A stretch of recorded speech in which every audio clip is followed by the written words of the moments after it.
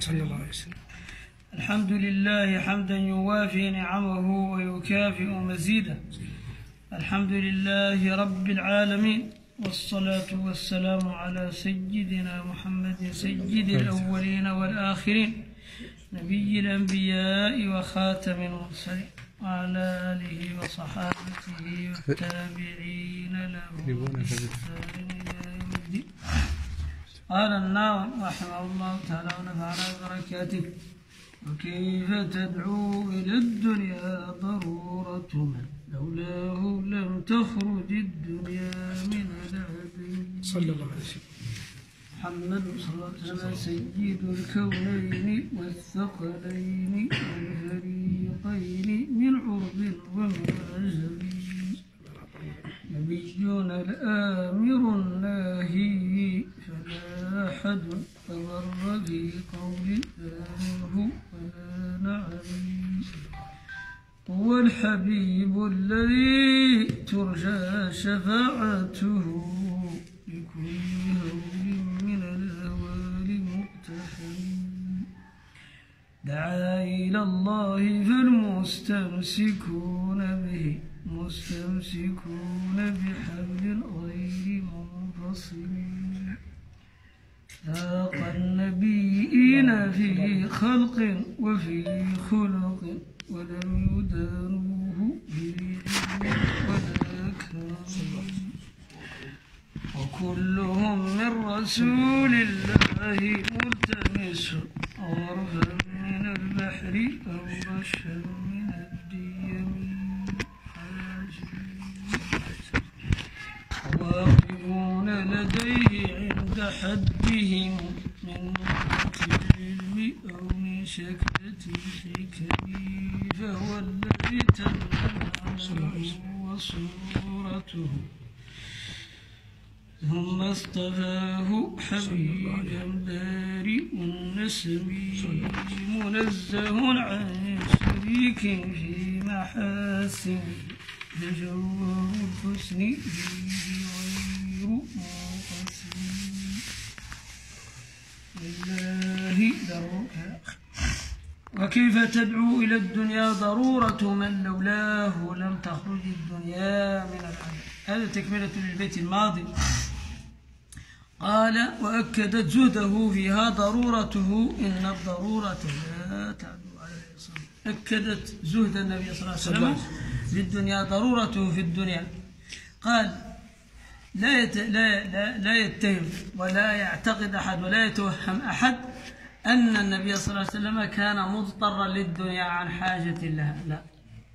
هذا غير صحيح. ولذلك ذيله بقوله وكيف تدعو إلى الدنيا ضرورة من لولاه لم تخرج الدنيا من العدم. إذا كانت الدنيا لم تخرج من من العدم إلا بسبب النبي صلى الله عليه وسلم فكيف يحتاجها النبي صلى الله عليه وسلم؟ هذا كان طلاقا ورفضا. وكما قلنا ماضيا النبي صلى الله عليه وسلم خيره الله تعالى بين أن يكون نبيا ملكا أو نبيا عبدا واختار العبودية. وهذه أقصى مقامات الخدمة وأقصى مقامات القرب هي العبودية. ولذلك قال الله تعالى وإنه لما قام عبد الله يدعوه كادوا يكون عليه. فالعبودية هي أقصى مقام القرب. النبهاني يقول هو العبد عبد الله سيد خلقه له الكون عبد والزمان نبي الهدى يا أعظم الناس نائلا. ومن جوده في العالمين عميم. ومن هو في الدارين خير وسيلة شفيع لدرك رب الكريم كريم. تدارك أغثني في أموري فإنني عرتني هموم مسهن أليم. وما ذكر تفصيلاتها لك لازم فأنت بأسرار الغيوب إلى أن يقول هو العبد عبد الله سيد خلقه له الكون عبد والزمان خادم. الكون كله خادم للنبي صلى الله عليه وسلم. والدليل على ذلك أن أفضل الكون هم الرسل كما سيأتيكم. وقدمتك جميع الأنبياء بها والرسل تقديم مخدوم على خدم. وبت تخترق تخترق السبع الطباق بهم في موكب كنت فيه صاحب العالم أنت صاحب العالم وهو الخدم وكيف تدعو إلى الدنيا ضرورة من لولاه لم تخرج الدنيا من العدم. وذلك هو محمد صلى الله عليه وسلم سيد الكونين والثقلين السيد الرئيس والمقدم سيد الكونين الجن والإنس. سيد الكونين والثقلين الكونين. كون الدنيا وكون الآخرة والثقلين الإنس والجن.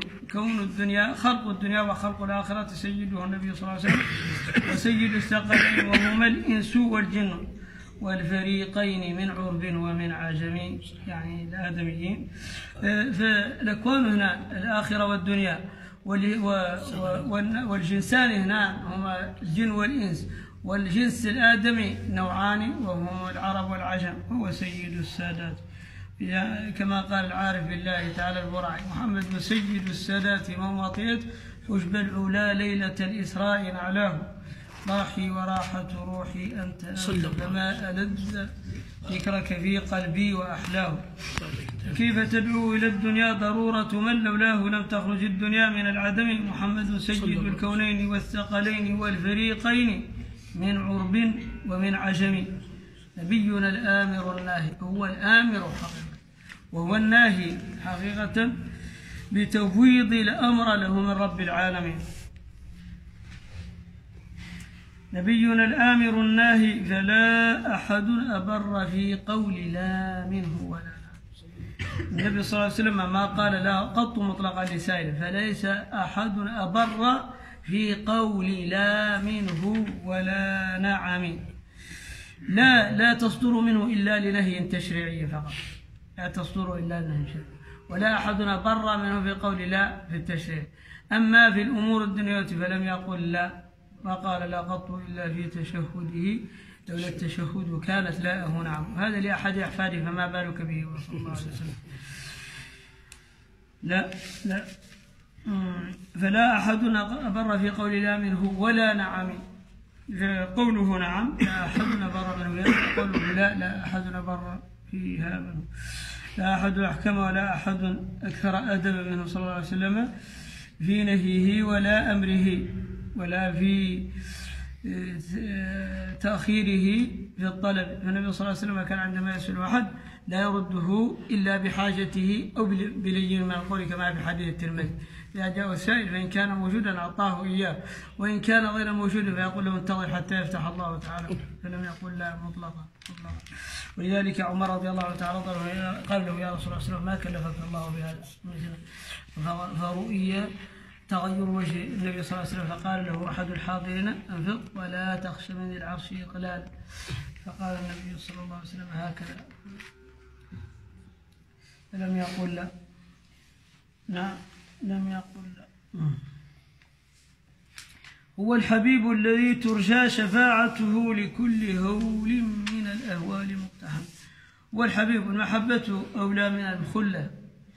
المحبة مقام فوق الخلة. والنبي صلى الله عليه وسلم قال لو كنت متخذا خليلا لاتخذت أبا بكر خليلا. ولكن أخوة الإسلام. فخلة النبي صلى الله عليه وسلم لله تعالى ومحبته لله تعالى. فقد خص بالمحبة وهي فوق الخلة. فإبراهيم عليه السلام خليل الله والنبي صلى الله عليه وسلم خليل الله ومحبيبه جمع بين الأمرين والمحبة أولى من الخلة. والحبيب الذي ترجى شفاعته تؤمل ويعول على شفاعته في كل هول من الأهوال سواء كان دنيويا أو أخرويا فهو الملجأ والملجأ المعهود والوزر الذي لديه يقر الأمن من زعزع العروق وكل من عاقه عائق في الدنيا والآخرة والتجا إلى النبي صلى الله عليه وسلم لا بد أن تحل تلك العوائق لا شك في ذلك. هذا ليس خاصا بالقيامة وليس خاصا بهول الموقف لا ورب الكعبة في الدنيا لا تزن عند الله جناح بعوضة إذا كان هو الذي يحل الموقف الأخروي الذي ترده الأنبياء كلهم فما بالك بالدنيا التي لا تزن عند الله جناح والحبيب الذي ترجى شفاعته لكل هول لكل هول من الأهوال مقتحم لكل كل عام لا تقييد فيه مطلقا. لا تقييد فيه مطلقا. لا في الآخرة ولا في الدنيا. دعا إلى الله فالمستمسكون به مستمسكون بحبل غير.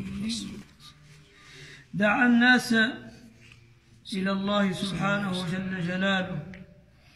دعا إلى الله فالمستمسكون به فالمتمسكون به صلى الله عليه وسلم والمقتفون لأثره صلى الله عليه وسلم مستمسكون بحبل غير منقطع غير منفصم لن ينفصم. اعتصموا بحبل الله جميعا فحبل الله تعالى لا ينقطع. فاق النبيين في خلق وفي خلق ولم يدانوه في علم ولا كرم. فاق الرسل والأنبياء في خلق وهو حسن الصورة وفي خلق وهو الآداب. ولم يدان لم يقاربوه.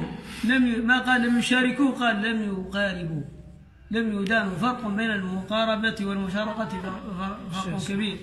قال ما قال لم يشاركوا؟ قال لم يدانوه في علم ولا كرم. ولذلك قال وكلهم من رسول الله ملتمسون غرفا من البحر أو رشا كل الأنبياء واقفون عند النبي صلى الله عليه وسلم يلتمسون. الالتماس وطلبوا الأدنى من الأعلى. هو الأمر إذا كان من الأعلى كأمر الله تعالى لخلقه والدعاء هو إذا كان من الأسفل للأدنى كسؤالنا لله تعالى. ربنا لا تؤاخذنا إن نسينا وأخطأنا ربنا ولا تحملنا إصرا والالتماس هو طلب الأسفل من الأعلى على وجه الأدب. الالتماس التماس قال وواقفون لديه عند حدهم من نقطة العلم أو من شكلة العلم. جميع الذي أخذه الأنبياء من أولهم من آدم عليه السلام إلى سيدنا عيسى عليه السلام ساداتنا الكبرى كلهم واقفون عند نقطة العلم أو شكلة العلم. فكل ما أخذوه من العلوم إنما هو مجرد شكلة ونقطة فقط لا يزيد على واقفون بالنسبة للنبي صلى الله عليه وسلم. واقفون لديه عند حدهم من نقطة العلم أو من شكلة الحكم نقطة فقط. صح. ديمي طالبنا عنها ها؟ ديمي ديم الأمطار ديم الأمطار ديمة المطر. واقفون لديه عند حدهم من نقطة العلم أو من شكلة الحكم. باقى النبيين في خلق وفي خلق ولم يدانه في علم ولا كرم. وكلهم من رسول الله ملتمس غرفا من البحر. أو رشفا من رش الديم رش البحر آه المطر الأمطار. الديمة هي المطر. وهذا عبارة عن أن علوم النبي صلى الله عليه وسلم بحور بالنسبة لعلوم الأنبياء وأنه يعني الملتمس منه سحائب أمطار غزيرة جدا والجميع الملتمس منه الذي أخذه الأنبياء إنما هو نقط ورشفات من البحر. ولا ينقص البحر رشفة ولا ينقص الديمة الهطلاء آه، الغزيرة آه، يعني رشات يعني. فهو الذي تم معناه وصورته فالنبي صلى الله عليه وسلم هو الذي تم معناه خلقه ومعانيه حلمه وصورته وهي خلقه الظاهر البدني. تم معناه وصورته ثم اصطفاه حبيبا ثم اختاره الله تعالى حبيبا بارئ النسب بارئ الكائنات نسمة الذوات بارئ خالق الكائنات. ولذلك قال منزه عن شريك في محاسنه فجوهر الحسن فيه غير منقسم النبي صلى الله عليه وسلم منزه معظم مرفع عن المشاركة في حسنه. فالحسن معطي يوسف عليه السلام ونصفه أما الحسن كله فقط أعطي للنبي صلى الله عليه وسلم. ولذلك قال منزه عن شريك في محاسنه فجوهر العلم فيه غير منقسم. وفي الأبيات الماضية إشارة لنا البصيرية يرجح أن النبي صلى الله عليه وسلم مرسول إلى جميع الأنبياء. وأنهم ملتمسون منه وأنهم نوابه. قال وواقفون لديه عند حدهم من نقطة العلم أو من شكلة الحكم. وهم يأخذون ويقتبسون منه كما سيأتي أيضا في في, في آخر القصيدة وفي وسطها حيث يقول فإنه شمس فضل هم كواكبها يظهرن أنوارها للناس فالظلم قال الباشر والمذهب والحق والذي مذهب إليه بالسكي وقال ذلك ظهر عند ظهر من انتظارهم له ليلة الإسراء واقتدائهم به في بيت المقدس. فهذا دليل أنه رسول صلى الله. عليه وسلم فهو الذي تم معناه وصورته ثم اصطفاه حبيبا بارئ النسم منزه عن الشريك في محاسنه فجوهر الحسن فيه غير منقسم. وهنا يغلط كثير من الناس أو زنادقة من الناس حيث يقولون إن هذا إشراك بالله تعالى. هذا فرق كبير. جوهر وجسم والله تعالى ليس بجسم. وقال منزه عن شريك في محاسنه فجوهر الحسن فيه. ومن انتهى لحد منع القسم فالجوهر الفرد الشهير والاسم كما قال المقالي. ليس- الأجسام تب- تبقى تنقسم إلى أن تبلغ درجة صغيرة لا يمكنها القسم. ذلك هو الجوهر وهو الذي تت- تتركب منه الأجسام فما دام جسما ينتهي إلى صغر وحجم هذا هذا يختلف عن الله سبحانه وتعالى. فقال فجوهر الحسن فيه غير منقسم. لما انتهى لحد منع القسم فالجوهر الفرد الشهير. بلغ من الصغر جوهر فرد لا لا يمكن أن يتجزأ فقال هو النبي صلى الله عليه وسلم لم تتقسم أجزاء الجمال بالنسبة له وإنما هو الذي أكمل الجمال والجمالات كلها والأنوار كلها مقتبسة منه صلى الله عليه وسلم. كما سيأتي في الأبيات الاتيه إن شاء الله. ولذلك أيضا له بقوله دع ما ادعته النصارى في نبيه. الرجل عالم هو إذا كان الإمام سليمان الجمل المفسر صاحب الفتوحات الإلهية حاشية الجلالين للإمام السيوطي. وقلت لكم أن أدرى الناس بتفسير القرآن حسب علمي في المرابط الحاج. اعتماده على سليمان الجمل. حسب أيامنا الماضية التي كنا فيها. هذا قال هو الإمام العارف الهمام ووصفه بأنواع من العلم والمعرفة والهمة ما لم لا- مثلا يعني لم أره وصف بها قال دع ما ادعته النصارى في نبيهم إذا أردت أن تسلم من الشرك فلا تقل ما ادعته النصارى. دع ما ادعته النصارى في نبيهم. لا تقل عيسى ابن الله. ولا تقل إن الله تعالى حاشاه ذلك ثلاثة ولا تقل إن آه، إن إن ما د- ما دعته أيضا اليهود عزير بن الله. وبعد ذلك صفه بما تشاء. ده ما ادعته النصارى في نبيهم واحكم بما شئت. ما دون ذلك لا حرج عليه. إذا وصلت إلى ذلك فهذا عين الكفر. وما دون ذلك فهذا هو عين التعظيم والاحترام للنبي صلى الله عليه وسلم. دع ما ادعته النصارى في نبيهم واحكم بما شئت فيه واحكم بما شئت فيه واحتكمي واحكم بما شئت مدحا فيه واحتكمي امدحه بما تشاء. لا تصفه بالربوبية ولا أنه ذلك ثلاثة ولا أن موسى عيسى ابن الله ولا عزير الله وما بعد ذلك لا حرج عليه. فإن ف... وسب إلى ذاته ما شئت من شرف. سب إلى ذاته الشريفة وجسمه الشريف ما شئت من شرف من جمال. ما شئت من شرف. وانسب إلى قدره. معناها معناه معناه حاله وأخلاقه ومعانيه. وانسب إلى قدره. ما شئت من عظام. فإن فضل رسول الله ليس له حد.